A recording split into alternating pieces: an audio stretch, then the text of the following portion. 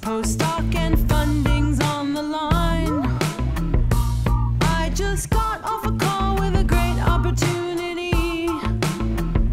They rate my work so much, they want it given verbally. Need that last gel image so I don't come unstuck.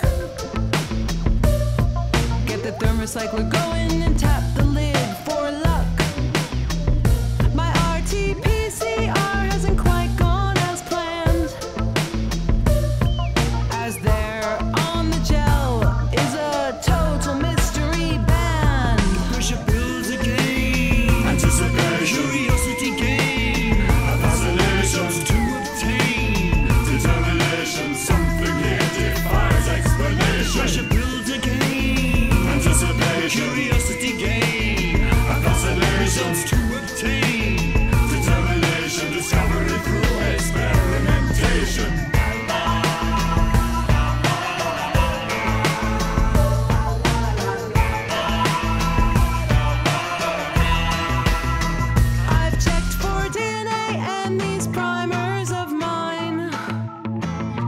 Without reverse transcriptase, everything's just fine.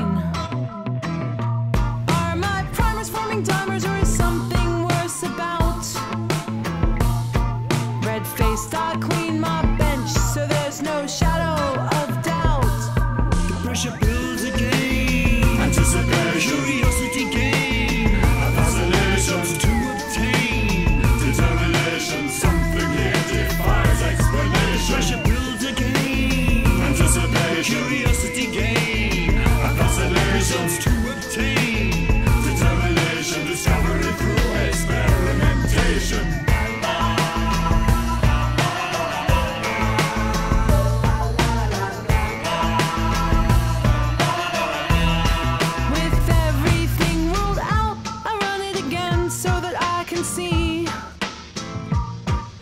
the same two bands are staring